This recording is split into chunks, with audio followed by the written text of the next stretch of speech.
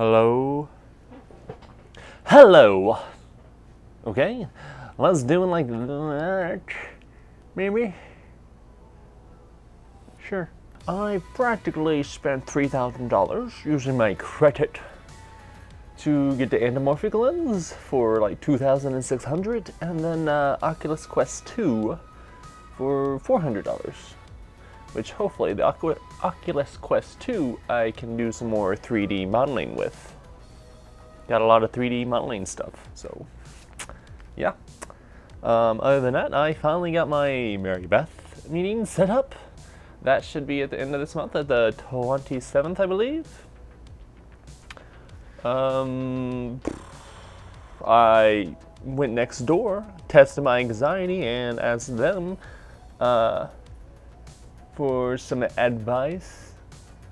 So I have a little more of a game plan with at least one of the rooms.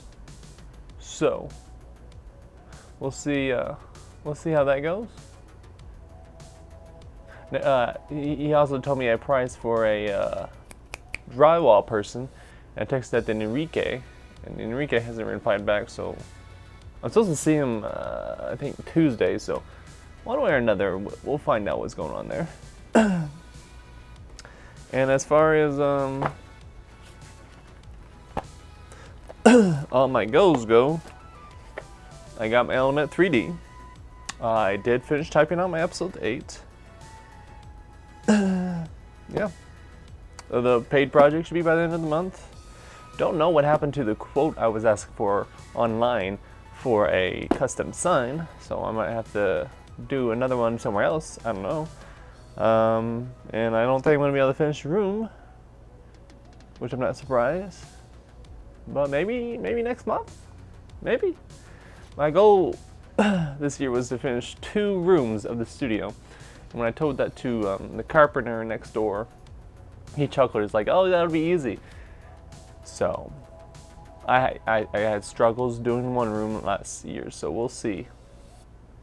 Maybe just get past that one room and then after that it's just easy peasy lemon squeezy.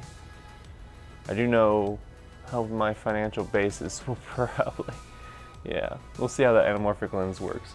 Um, also, with the anamorphic lens, I um, I did a update on my Blackmagic. It was I think like 6.1 or 6.2 from all the way when I first got it, which was like beginning of last year. God, feels like it's been longer than that. But yeah, and uh, now I think we're on like 6.9, and one of the updates were uh, having an anamorphic mode, which is just in time for my anamorphic lens that's on back order. So, yep, that was the update. Um, next video, I should, I should definitely have some, uh, some stuff to show. Thank you for watching. See you on the flip side.